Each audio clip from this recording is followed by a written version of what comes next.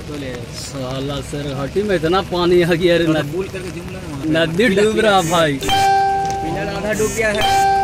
Pillar पूरा डूब गया भाई आधा नहीं पूरा डूब गया पूरा। गजब का पानी जा रहा है। हो रहा पानी। हो रहा है। थोड़ा सा बचा पिला।